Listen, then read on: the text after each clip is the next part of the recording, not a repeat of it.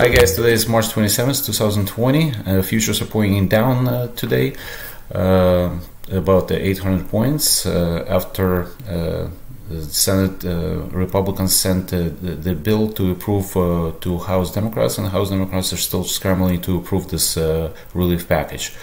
So in general, it might be a, a, chips off the table day um, in general for investors because of the three in a row huge gains, and uh, some people might want to take chips off the table, like I said.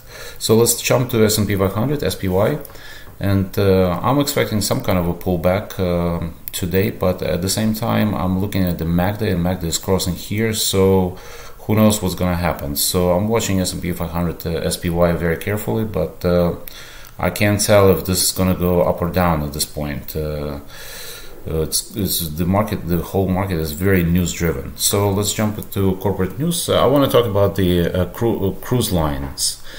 Today because a lot of people asking me about the cruise lines whether it is time to buy cruise lines and in general i don't like the cruise lines because uh, first of all, in this bill, uh, companies that will get help are the companies that registered in America and United States. So uh, these cruise lines are registered in like Panama, they're registered in uh, Bahamas, uh, just because the, they wanted to avoid paying U.S. taxes and also avoid paying um, minimum salary wage that was set in the United States because uh, a lot of their workers are foreign workers. So I'm not sure if they're included in this uh, relief package uh, uh, help bill. So we'll see what happens, but in general, I'm very pessimistic on these uh, cruise lines, especially like uh, the big ones, CCL, the Carnival Cruises, the RCL, and and C and CLH, Norwegian Cruises. So, um, not very optimistic about those uh, those things. And uh, to tell the truth, uh, yesterday I, I, was seriously considering uh, to short those uh, stocks. So I wouldn't touch them. Okay, in separate news, Amgen was upgraded yesterday. Amgen is a biotech, is a big biotech company, and uh, they were maintained overweight by Oppenheimer yesterday, and uh, I think uh, Amgen, if they come, can come down in around 190, maybe that's a pretty good buy in my opinion. also, Ambarella is a technology company. Ambarella was upgraded yesterday uh, by Stifel, but uh, it's a little bit too high for me uh, to get in Ambarella, an umbrella at 50 bucks, and right now it's trading a bit, little bit lower as all the stocks pre-market trading a little bit lower.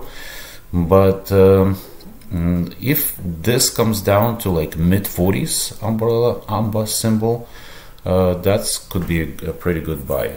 So all the bank stocks, for example, Bank uh, of America was um, maintained at neutral uh, and with a price target of $27 uh, today uh, by Citi.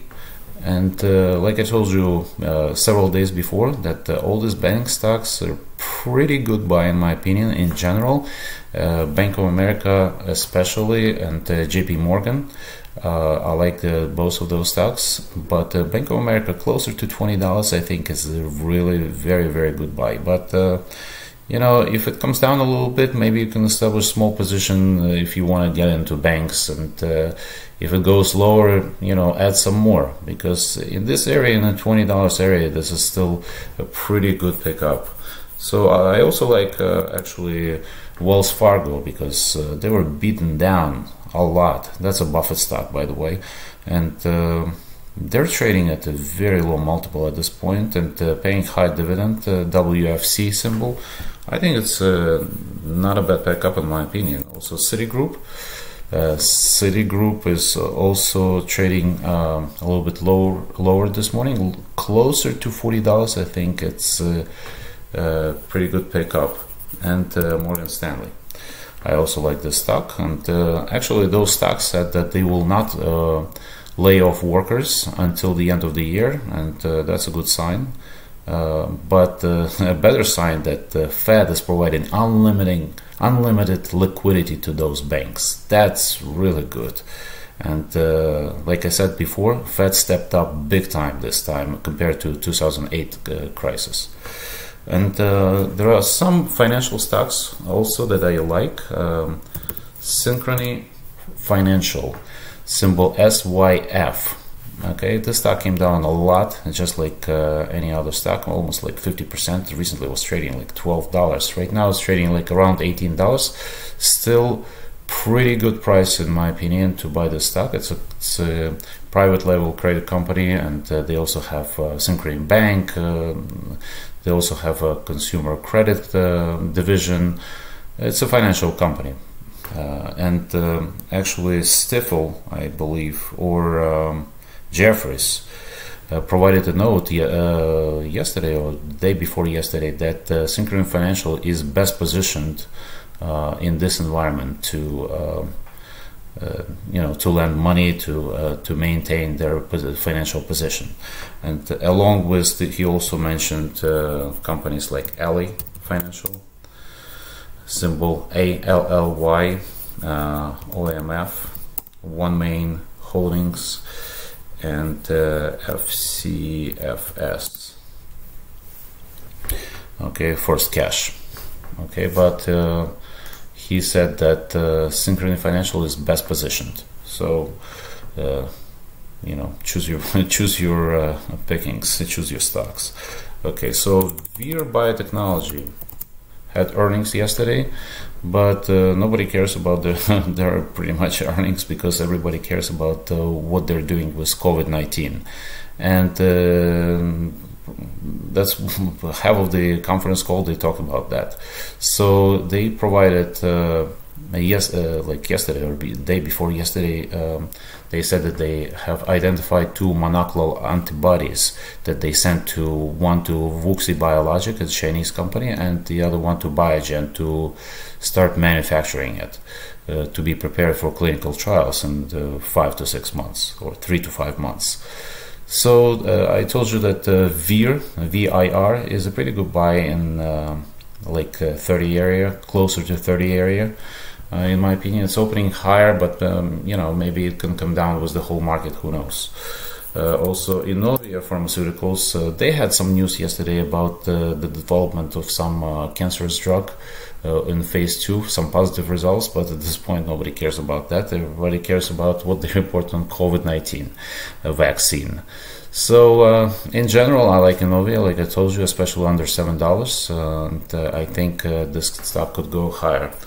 And also, of course, I like Moderna. Okay, so Moderna is uh, opening higher, but uh, uh, in the area of 25 27 dollars that's a pretty good pickup in my opinion okay? So guild uh, a lot of people ask me about guild. Uh, i don't know what the deal was guild actually. Maybe somebody can explain me because uh, several days ago they were given by fda was gave guild their the designation for their, their remdesivir uh, vaccine uh, a rare disease designation uh, so they can produce this vaccine. And uh, all of a sudden, after that, like one day later, uh, Guild pulled that designation. They said that uh, they will go by a regular route and do um, more studies and so on.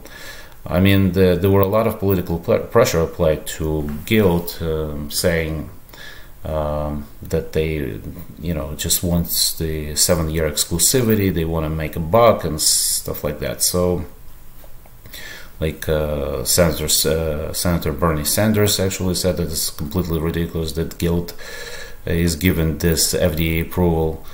I actually don't get it because uh, I don't understand if if remdesivir works, why can Guild uh, give it to patients? And now uh, I don't understand why uh, Guild is pulling this drug because of this political pressure. Don't you have to ignore this and give it to like sick people? I just don't get it. Not even by, as an investor, but as a, just a human being. Uh, I don't understand this company, and uh, maybe somebody in the comments can explain me what's going on with this.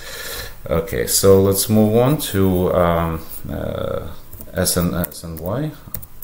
Uh, Sanofi. Sanofi uh, said that uh, they're developing the messenger RNA vaccine along with TBio, symbol TBIO.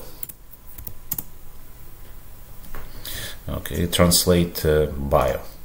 Okay, so this stock translate bio TBIO is higher a little bit, but I would stick uh, with buying Sanofi actually. I mean, I like Sanofi, especially on a sell off. Okay, so KBH also reported earnings. That's the home builder, and uh, they reported pretty good earnings. Very good, actually, very good earnings, spectacular, by beating by 18 cents, but withdrawn their financial guidance. Uh, I'm not sure if I want to be in KBH, but this is one of my favorite builders actually. Uh, so symbol KBH Lulu actually also reported earnings, and they reported pretty good numbers, but they said uh, that uh, you know a lot of their stores uh, are closed and they have uh, uh, provided pretty weak guidance and the Lulu shares are lower. I don't want to be in Lulu at this point because obviously we don't know what's going on with the virus. Okay, so WW, which is um, Okay, so this is uh, Oprah company, uh, pretty much. it um, was upgraded by um, WW International was upgraded this morning, and uh, by Morgan Stanley, and that's not a bad company to be in actually, um, because uh, a lot of people will be uh, concentrated on health nowadays, and that's not a bad company to be in. So Deere also.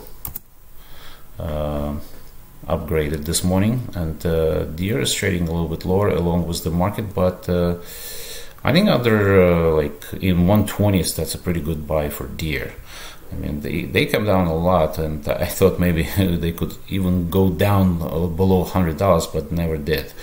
But I think in like 120s uh, would be a buyer for Deere. So in general, is a good time to uh, mm, to sit and uh, uh, and by uh, the, the, companies that uh, are like providing technology company that providing a lot of technology solutions for the internet.